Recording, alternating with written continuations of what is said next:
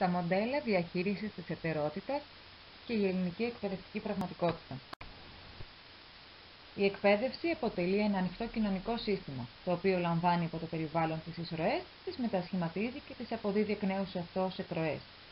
Τα ανοιχτά συστήματα έχουν ως χαρακτηριστικά γνωρίσματα τη συνεχή αλληλεπίδραση με το περιβάλλον και την τάση προς μια κατάσταση ισορροπίας. Όμως στη σημερινή κοινωνία το περιβάλλον μεταβάλλεται συνεχώς λόγω κοινωνικών, οικονομικών, πολιτικών, μεταναστευτικών ζητημάτων που ανακύπτουν και η ισορροπία των συστημάτων διαταράσσεται. Επομένως, τα συστήματα οφείλουν να προσαρμόζονται στα νέα δεδομένα, εισάγοντας και εφαρμόζοντας νέες προσεγγίσεις. Οι διαφορετικές θεωρήσεις για την εκπαιδευτική διαχείριση της πολυπολιτισμικότητας ομαδοποιήθηκαν σε συγκεκριμένες προσεγγίσεις. Στην αφομοιωτική προσέγγιση, στην προσέγγιση της ενσωμάτωσης, στην πολυπολιτισμική, στην αντιρατσιστική και στη διαπολιτισμική εκπαίδευση. Η αφομοιωτική προσέγγιση συναντάται για πρώτη φορά γύρω στο 1950. Σύμφωνα με το συγκεκριμένο μοντέλο, οι μετανάστες αφομοιώνονται, απορροφώνται από τον γηγενή πληθυσμό και δεν τους δίνεται η δυνατότητα συμμετοχής στην ανάπτυξη και στην πρόοδο της κοινωνίας. Χάνουν τα ιδιαίτερα πολιτισμικά τους στοιχεία, απορρίπτουν τη μητρική τους γλώσσα, παραχωρούν ένα μεγάλο τμήμα της κουλτούρας τους. Όσον αφορά στο εκπαιδευτικό πλαίσιο, στόχος της εφομοιωτική προσέγγισης είναι να βοηθήσει όλους τους μαθητές να αποκτήσουν επάρκεια στην εθνική γλώσσα και στον πολιτισμό σε ένα μονογλωσσικό και μονοπολιτισμικό σχολείο.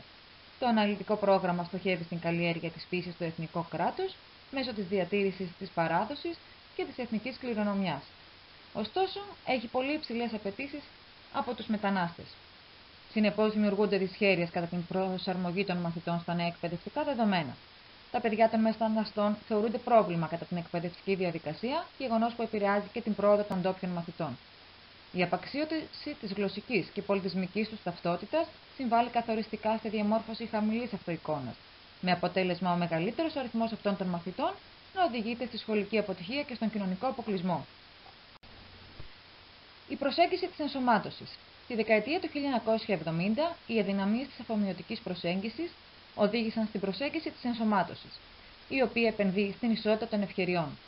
Κάθε μεταναστευτική ομάδα φέρνει έναν πολιτισμό, ο οποίος αλληλεπιδρά με τον πολιτισμό της χώρας υποδοχής και κατά αυτόν τον τρόπο δημιουργείται μια νέα πολιτισμική έκφραση.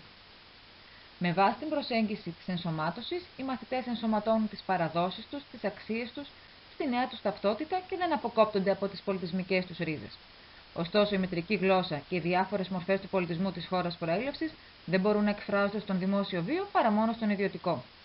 Έντονη κριτική ασκήθηκε και σε αυτή την προσέγγιση, διότι δεν λαμβάνει υπόψη της τις ιδιαιτερότητες των αλλοδαπών μαθητών και δεν τους ενθαρρύνει να ανταποκριθούν στις απαιτήσεις του σχολείου. Η επικαλούμενη ισότητα των ευκαιριών δεν υπήρξε στην πραγματικότητα. Η πολυπολιτισμική προσέγγιση. Οι προσεγγίσεις της αφομοίωσης και της ενσωμάτωσης δεν συνέβαλαν ουσιαστικά στην επίλυση των προβλημάτων. Αντιθέτως, ενίσχυσαν την αναπαραγωγή των κοινωνικοπολιτισμικών ανισοτήτων και στον εθνικό διαχωρισμό. Στη συνέχεια, τις δεκαετίες 1970 και 80 εφαρμόζεται σταδιακά το πολυπολιτισμικό μοντέλο. Με βάση το μοντέλο αυτό, η κοινωνία αποτελείται από διαφορετικές πολιτισμικές ομάδες, οι οποίες πρέπει να διατηρήσουν τις ιδιαίτερες καταβολές τους, την ιστορία και τις παραδόσεις τους. Όσον αφορά στην εκπαίδευση, η πολυπολιτισμική προσέγγιση θεωρεί πως το σχολείο οφείλει να διασφαλίζει ίσες ευκαιρίες για όλους τους μαθητές, ανεξάρτητα από την εθνική, πολιτισμική και κοινωνική καταγωγή τους. Αναγνωρίζοντας τις πολιτισμικές ιδιαιτερότητες των μεταναστευτικών ομάδων και συνδιαμορφώνοντας ένα νέο πλαίσιο από όλες τις υποκειμενικές πολιτισμικές ομάδες, μπορεί να προωθηθεί η κοινωνική συνοχή. Πρακτικά, η κοινωνική συνοχή μπορεί να επιτευχθεί επενδύοντας στην εκπαίδευση, μέσω της προσαρμογής των αναλυτικών προγραμμάτων και των εκπαιδευτικών πρακτικών.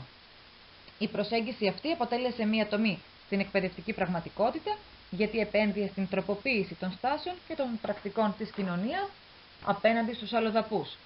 Αυτό το μοντέλο δέχθηκε έντονη κριτική, διότι δεν εστίασε στην ουσιαστική μεταβολή των κοινωνικών και εξουσιαστικών δομών της χώρας υποδοχής. Η αντιρατσιστική προσέγγιση στα τέλη της δεκαετίας του 1980, στη ΣΥΠΑ και στη Μεγάλη Βρετανία, αναπτύσσεται η αντιρατσιστική προσέγγιση. Σκοπός της είναι να καλλιεργηθεί η κοινωνική δικαιοσύνη μέσα από την εκπαίδευση και στηρίζεται στην έννοια του θεσμικού ρατσισμού, δηλαδή στη διαφορετική μεταχείριση των πολιτών από τους κρατικούς θεσμούς. Οι στόχοι του μοντέλου αυτού είναι η ύπαρξη δικαιοσύνης προσφέροντας ίσες ευκαιρίες, η δημιουργία ενός εκπαιδευτικού συστήματος που θα προσφέρει ίσες ευκαιρίες σε όλους και η απελευθέρωση όσων καταπιέζονται εξαιτίας του ρατσισμού. Για να μπορέσει στην πράξη να προσφέρει ίσε ευκαιρίες η προσέγγιση αυτή, επενδύει στην αναθεώρηση των δομών και των θεσμών στι κοινωνίε. Αξιολογώντας τη, φαίνεται πως αποδείχθηκε και αυτή ανεπαρκής. Πολλοί ασκούν έντονη κριτική στην αντιρατσιστική προσέγγιση, θεωρώντας πως προσπαθεί να πολιτικοποιήσει την εκπαίδευση. Φαίνεται πως δεν εστιάζει τις αιστείε του φαινομένου και επικεντρώνεται περισσότερο σε όσα χωρίζουν τους ανθρώπους παρά σε όσα τους ενώνουν. Το πέμπτο και τελευταίο μοντέλο είναι η διαπολιτισμική προσέγγιση. Αποτελεί την πιο σύγχρονη παιδαγωγική πρόταση, διότι θεωρεί την πολιτισμική εταιρότητα πλούτο. Εστιάζει στα ανθρώπινα δικαιώματα, στην ίση κατανομή του πλούτου και της δύναμης και στον σεβασμό της διαφορετικότητας. Η διαπολιτισμική προσέγγιση αποτελεί μια διαφοροποιημένη προσέγγιση, διότι βασίζεται στην παραδοχή πως η μονοπολιτισμική και εθνικά προσανατολισμένη εκπαίδευση έχει ξεπεραστεί και δεν μπορεί να ανταποκριθεί στις απαιτήσεις των σύγχρονων κοινωνιών. Η εν λόγω προσέγγιση δεν αφορά μόνο τα αλλοδαπά παιδιά, αλλά όλο τον μαθητικό πληθυσμό, με στόχο να αναπτύξουν όλοι οι μαθητέ ικανότητες σεβασμού και αποδοχής των διαφορετικών πολιτισμών, να συνεπάρξουν και να συνεργαστούν αρμονικά. Σε αυτό το πλαίσιο, ιδιαίτερη σημασία αποκτούν αξίες όπως η ισότητα και η κοινωνική δικαιοσύνη.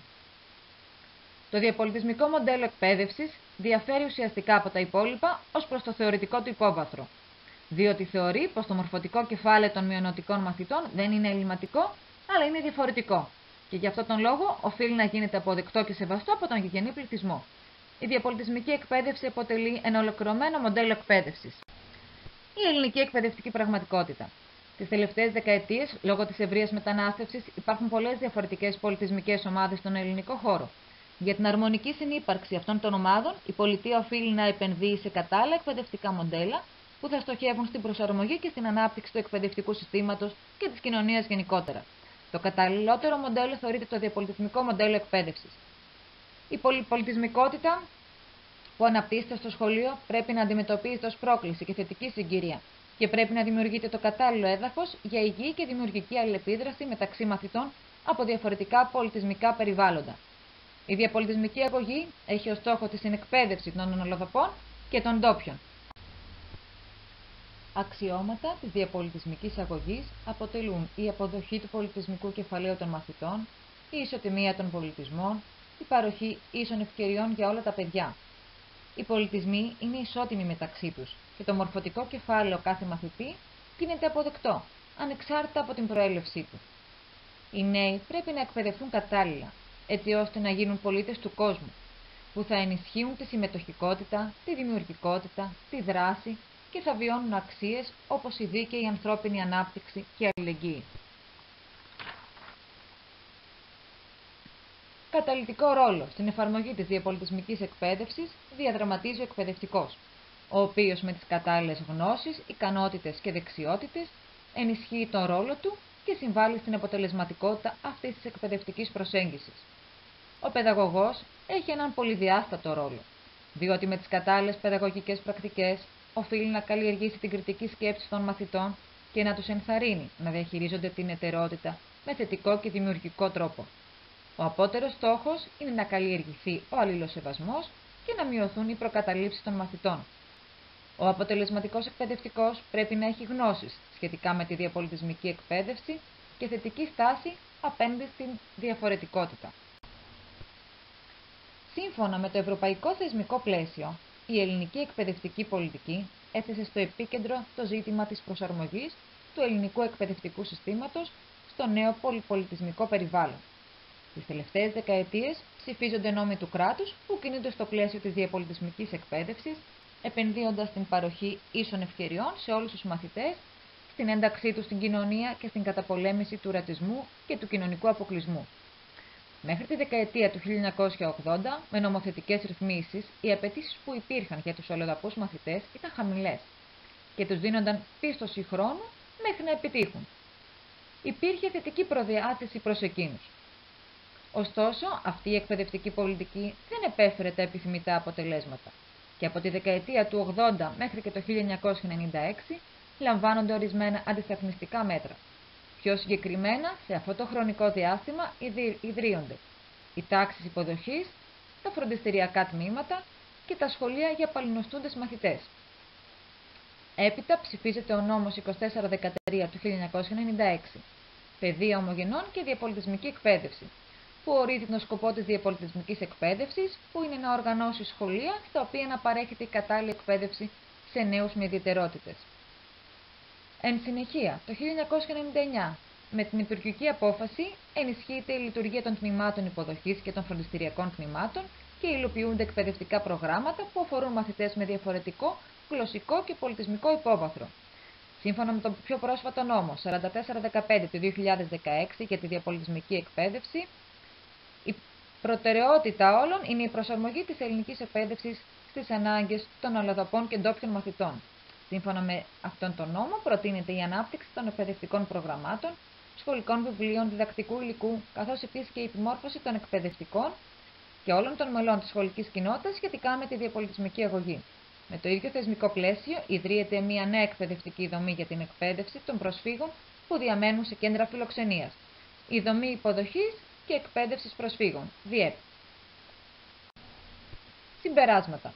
Στο σημερινό περιβάλλον των συνεχών μεταβολών και εξελίξεων, οφείλουν όλα τα εκπαιδευτικά συστήματα να προσαρμόζονται στα νέα δεδομένα.